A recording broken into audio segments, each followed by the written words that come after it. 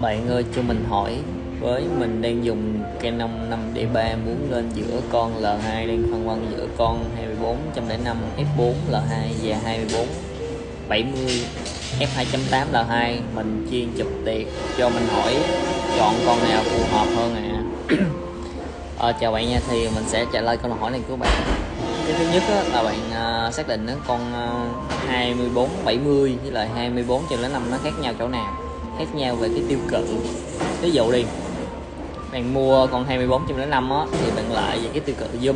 Nó cũng dạng như là tele rồi. Nó có thể zoom lên tới 105 á, khi bạn đứng khoảng cách xa. Có thể zoom ờ, lên nửa người hoặc là chân dung cho khách của bạn á.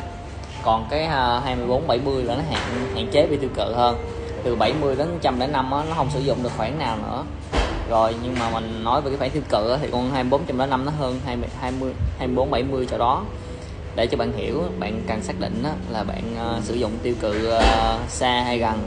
Ok chưa? À, cái thứ hai là bạn uh, cần uh, biết nữa là con 2470 nó là f2.8 nó lợi về về cái gì? Nó lợi về cái khẩu so với con f4 2.8 lợi về khẩu lợi về cái gì? Lợi về khẩu tức là lợi về ánh sáng. Khi mà trong cái trường hợp ở môi trường điều kiện ánh sáng thiếu á 2.8 nó sẽ là lợi thế cho bạn khi bạn chụp nó nó sẽ bù trừ ánh sáng cho bạn. Đó là chẳng hạn như mình nói thì cái F4 thì cái ờ, cái lá khẩu nó đóng được có tới đây đúng nó mở được có tới đây đúng không? Thì cái con 2.8 nó sẽ mở rộng hơn xíu cái lượng ánh sáng nó đi vô nhiều hơn.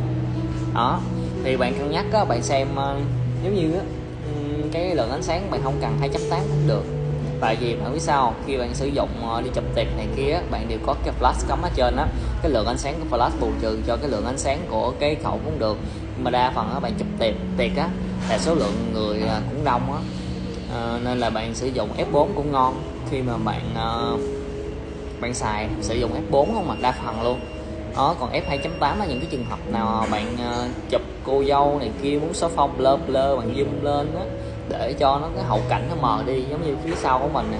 Nó đen nè khẩu này đen chắc là khẩu ờ, khẩu lớn nè nó không có phong nhưng mà đóng xuống 2.8 thì nó sẽ xóa phong blur ở sao rồi nếu như bạn đang uh, có một lens uh, thì uh, mình nghĩ bạn nên mua 24 105 f4